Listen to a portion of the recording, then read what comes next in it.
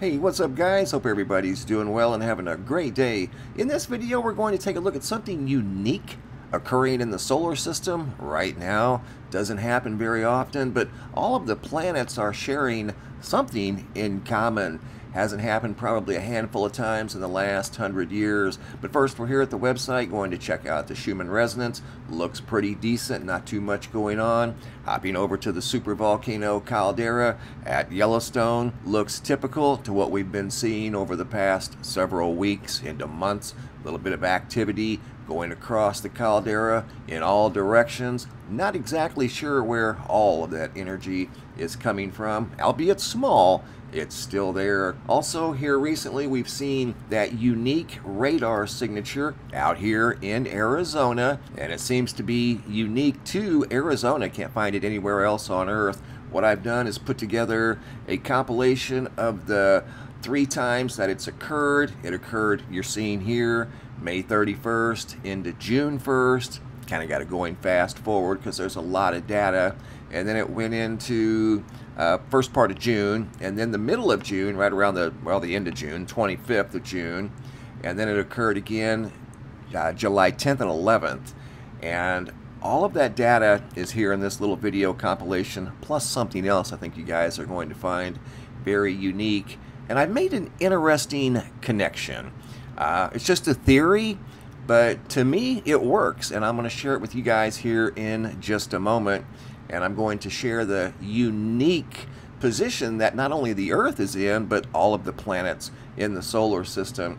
But you're looking at the radars from May, June, and July, and we're seeing these uh, very tall cloud signatures. That's what the radar is implying, that these cloud tops are in the, you know, 85, 90, and even 95,000 foot range um, looking at severe thunderstorms in the indicated areas when there, there weren't thunderstorms. So something unique going on. I think it was much more than a glitch. I ended up finding it thanks to Shelly uh, of Gilbert, Arizona, on yet another radar, uh, the NEXRAD radar. We're going to take a look at that also in this video. June 25th, it occurred during the overnight hours, the 24th into the 25th, and right there it is lasted for several hours, like it did the other times that occurred in the evening hours. So it wasn't just limited to something that occurred in the evening in June uh, 25th to 24th during the overnight hours. And there's what it looked like on uh, windy.com. Showed up on Windy every time this occurred. Also showed up on an app that I use called My Radar, which is right there. That's the one I use on my phone. And then we're also going to take a look at it on NEXRAD. It showed up on NEXRAD too. But I want you to watch something here on this radar uh, feed that I uh, recorded off my phone and then transferred it to my laptop. Do you see that right there? That's up in the rim country. We're going to take a look at that in slow motion. There it is on windy.com. And again, this is the most recent that we've seen, June 10th and June 11th. Took a look at the visible radar and infrared, didn't see anything unique. There's what it looked like on the 10th. Now we're going to go up into, here in just a second, this is down in southern Arizona. Again, very, very dark purple, which is the top of the scale. Um, nothing goes to the, those heights when it, with regard to severe thunderstorms. I mean, the highest they go, you know, 70,000 is very, very tall. That's showing 90 and 95,000. Here we are up in the rim country.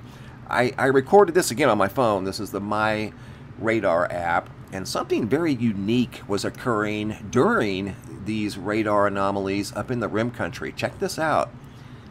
See these like structures that are appearing? Look at that. They don't look typical, like a typical radar signature, huh? Look at that right there. Those look identical. They look like two, uh, two ships, two crafts. Then they morph over into one. Check this out. I've never seen anything like that. Never seen anything like that. And again, that was during these unusual radar uh, loops that we were seeing. That was up right up in here, up in the rim country, north of Phoenix. Then thanks to Shelly, uh, found it on the NEXRAD radar. See it right down there? June 11th and 12th. I use uh, NEXRAD quite a bit. It's very, very good. I just did not use it uh, the last time this occurred. Found it on the NEXRAD uh, during this event. So it was on three different radars. And there it is. It looks more of a, a bright red. And you can see the, the white. That is uh, indicating like 95,000 feet, which is just not common. Even during an extreme weather event, cloud tops don't get that, that high. I mean, that's two and a half times higher than airplanes fly. In some cases, three times higher than airplanes fly. Um, I'm going to show you this loop in multiple formats and you're going to see down here in the lower right hand uh, corner something uh, red and white. And again that's the top of the scale moving through the southern Arizona area. I don't know what's going on and, and I, I, put 95,000 because that's what it's implying. See the, the white over here on the right hand side? That's the top of the graph. It just doesn't go any higher than that because there's never any storms that are ever anticipated to even go that high. But there was something you're going to see in different formats down at the bottom of the screen, moving from right to left. I put it in fast forward and use different formats. See that right there? Zipping through and then all through the Phoenix metro area, extending all the way down to Tucson. Shows up on NEXRAD as a bright red. But down at the bottom, you can see something with white and pinks that's at the very top of the chart. Uh, I don't know, moving right there as a unified structure almost across the screen from, from right to left. That would be from east, southeast to west, northwest. Don't know, guys. This is all new to me as well. Um, now that we've found it on three different radars, um, to me it's it's not a glitch. Something was being detected by these radars that's what they do. They detect energy. And it did just that. What exactly it is, I'm not sure. But I, I did notice a uh, unique coincidence. Here is a planetary map of the solar system looking down from above. And right now, and actually right before all of these unique radar signatures started appearing, uh, again, only unique to Arizona, all of the planets are sharing one side of the sun.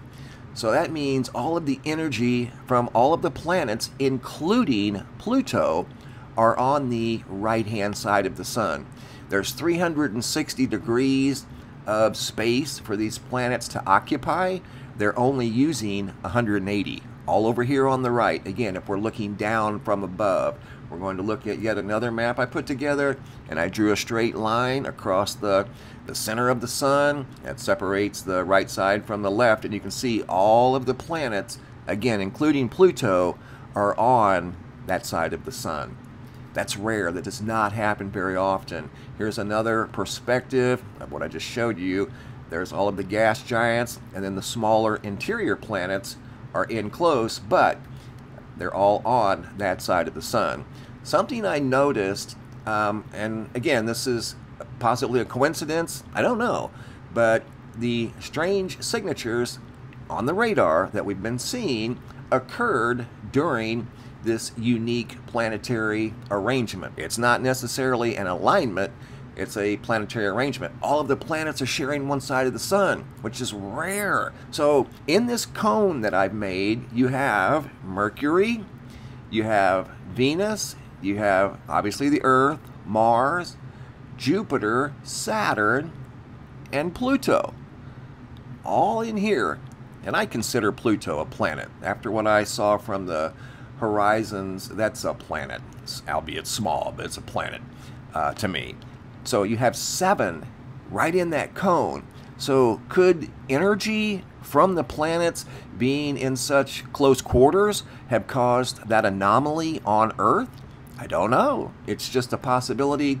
Just trying to think outside the box. That's all. Here we go back to May 31st, and you can see all of the planets are not only on the you know, same side of the sun. Like I said, they have 360 degrees to, to occupy, and they're using 180 degrees, half of the space. You have Venus, Earth, Mars, all in this tube here that I put together, all in this area. They're all confined to that same general area. So could the energy from those planets be showing up um, as an odd radar signature at times?